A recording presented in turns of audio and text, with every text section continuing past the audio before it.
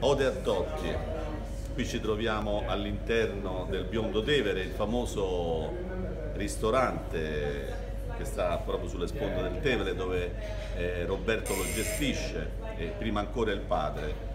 Dedico questa ode, questa poesia a Totti. Il titolo della poesia è Ode a Totti.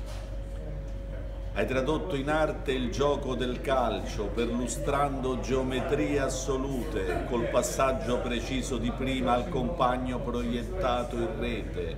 Nulla ti è stato impossibile sul tappeto di gioco, con l'intuito del fuoriclasse hai annullato qualunque difesa, disarcionato ogni sfalciante difensore, sgranellatore di malleoli e sgualcitore di crociati non avesti paura all'europeico rigore di ingollire Van der Sar con un cucchiaio magistrale che stupì l'Europa tutta e parte del mondo, intercluso il Brasile, che tacque la tua amata porta Metronia ti vide bambino e poi adolescente, da quando muovesti i primi passi sui campi terrosi, facendo già la differenza tra i compagni, quando eri già tifoso della squadra con cui ora giochi.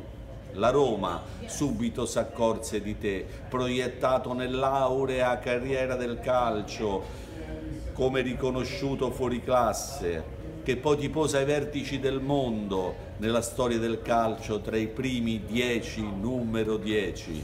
E la tua magica forza è stata sempre quella di mai dimenticarti delle tue comuni romani origine, tinte ovunque del giallo rosso della tua amata città e della tua inestimabile Roma.